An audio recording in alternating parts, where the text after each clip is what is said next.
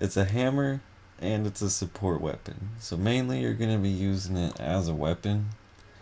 But the buttons that you push are going to give you these these notes. Basically you store up the songs that you've made by pressing certain notes.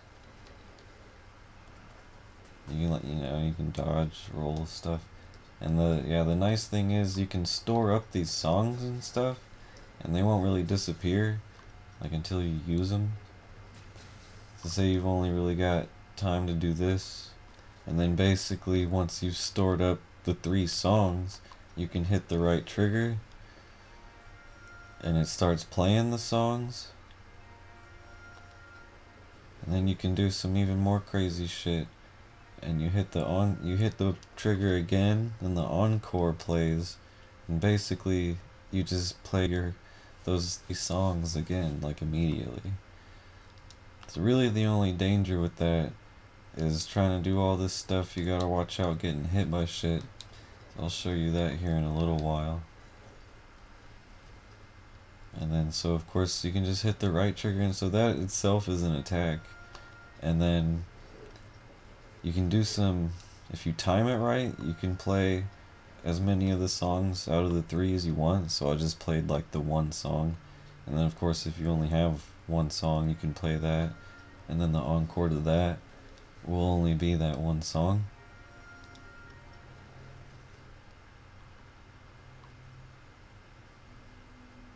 It kind of predicts a button that you see it says self-improvement. Uh, we're not about that life. We want to help our teammates out.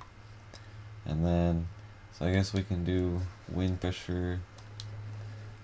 So that even gave me a defense up while I was trying to do the wind pressure because the notes in which the defense up or whatever uh, was all the button sequence nonsense. And then basically I can just play all three of those.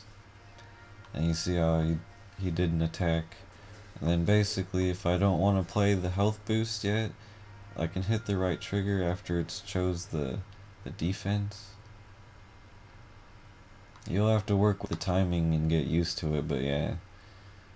And you can also, like, if you're sliding down a slope,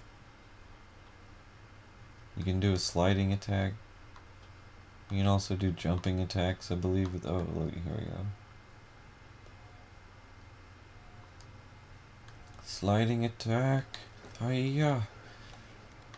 So you can mount stuff with that too. Uh, but of course you got your main jumping attack. You can mount monsters with those attacks. You can knock monsters out if you hit them in the head with these attacks. And then of course you play your song. So I mean, yeah, it's whatever your playstyle, however you want it, whatever buffs you're kind of looking for is what Hammerhorn you should look for. Is like I said, you can see what the songs will do when you go to upgrade it. You're gonna start out with this metal bagpipe and it has yeah a white note a red note and the blue there's a dark blue note there is a light blue note which is like more of a status buff. The dark blue one's more of a defense like it's usually just defense. But you can always check like you hit the triggers or and then you can see what the songs do health boost. So this one doesn't heal, but it'll increase your maximum health. So you can increase your attack and defense. And see on this one, the white note, uh, that note will always be the the Y button. And the red note's gonna be the B button. And then that big note's gonna be the Y and B button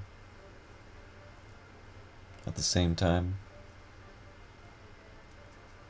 And then like if you come over here, be the same one. The note 1 is Y, note 2 is B, note 3 is Y and B at the same time.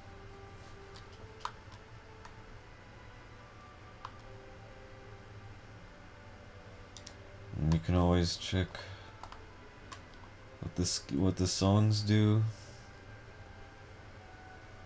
tool use stream. See that? Defense up large. That'd be a cool one.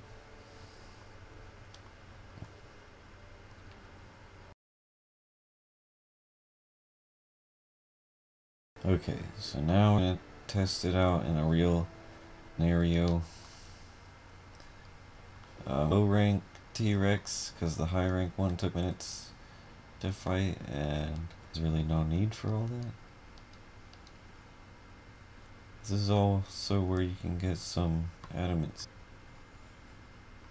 Right next to that camp.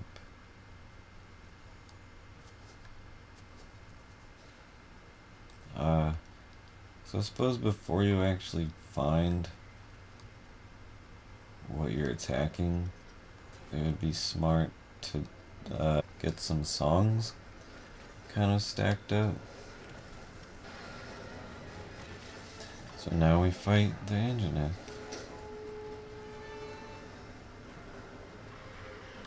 Oh yeah, see you can do the sliding attack. Try and mount him. Of course I missed, but it's because he's at the top of it. There we go, see?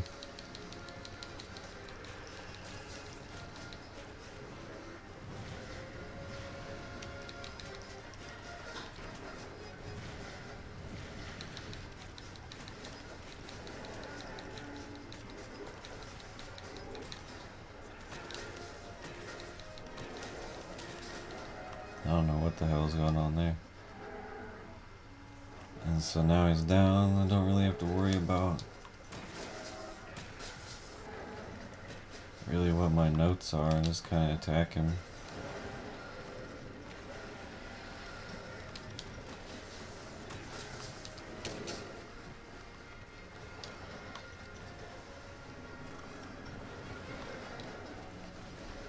So now I'm gonna get my the healing one back.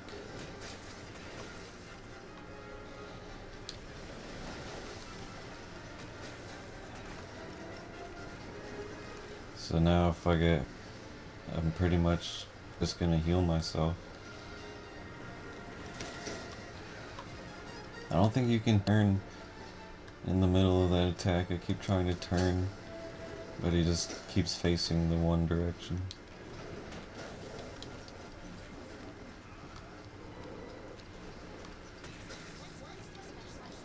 I put him to sleep.